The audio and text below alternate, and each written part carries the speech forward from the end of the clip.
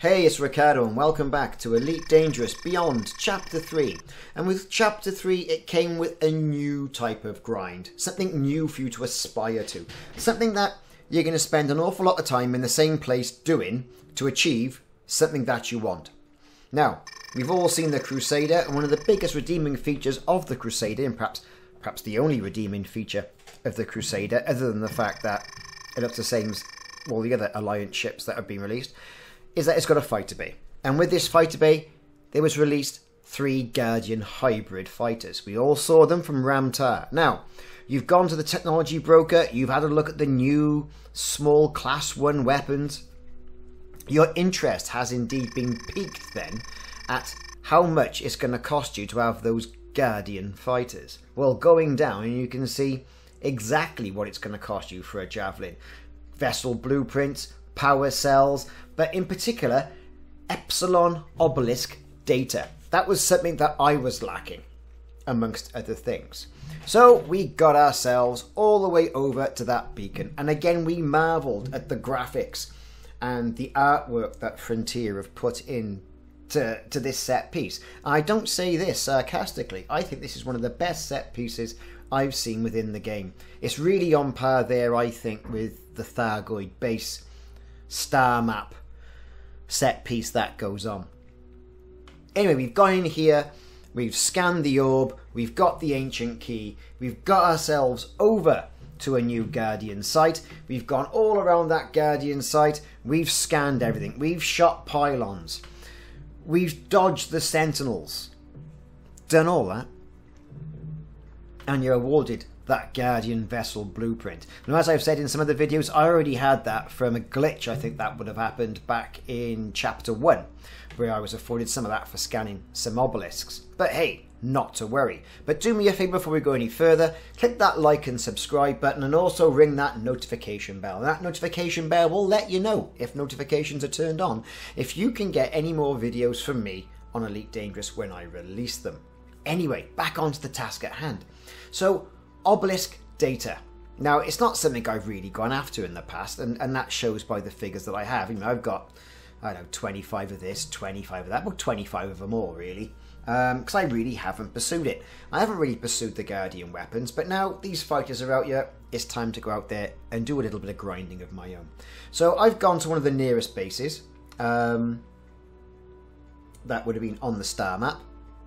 I had them all marked. If not, check out the Reddit uh, and some of the other Canonn sites. They'll point you directly to where the Guardian sites are to go and get some obelisk data. Get into your old SRV, find one.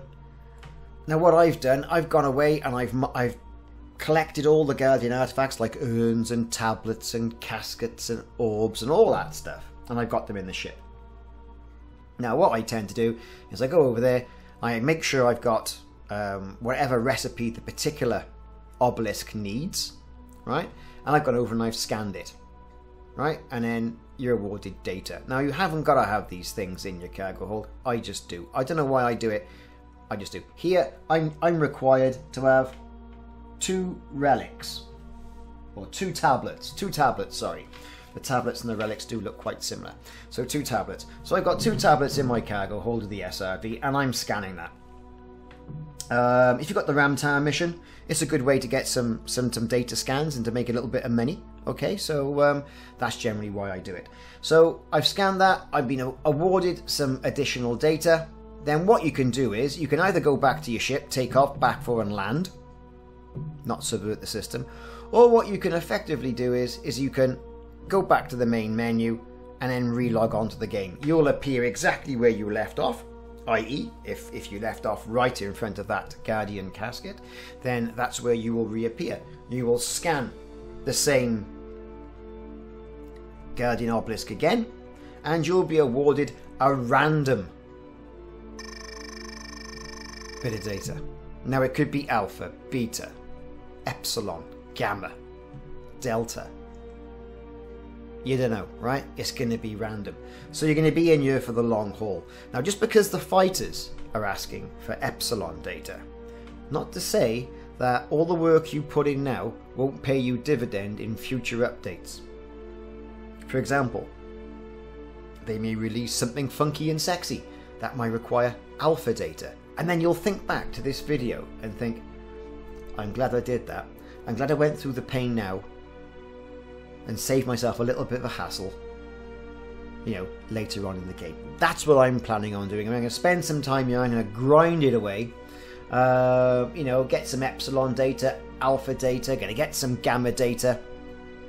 Then I'm going to head on back to Founders and I'm going to see what these fighters are all about. Now, personally, I think these fighters are alright. I haven't been a great person or advocate of the fighters.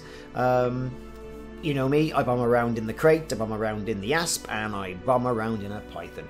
And all the rest of the ships, well, I'm just a tart for ships, as you know. Uh, so that's basically it. That's what you do. Go and find yourself a close Guardian site, and there is one, and the one that I've got on the screen is, is about, oh god, I don't know, 120, 130 light years away from the planet um, Synuefe EU-QC21-15.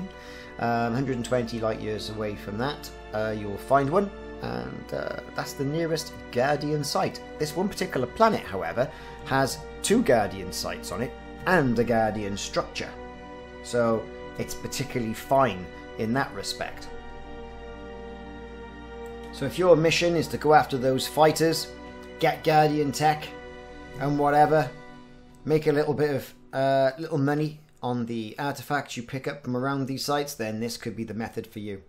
Anyway, thank you very much for watching. I've been Ricardo. That's been my quick explanation for Reboot and Restart. We haven't done a, lot of Reboot and Restarts lately. There's been a lot of No Man's Sky going on and updates going on and um, you know, generally people are finding their way in the game, and as things change, I'm trying to adapt the series as they change. But I think this is quite important uh, of an easy way to get yourself around there and mine some Guardian data, some Guardian Obelisk data.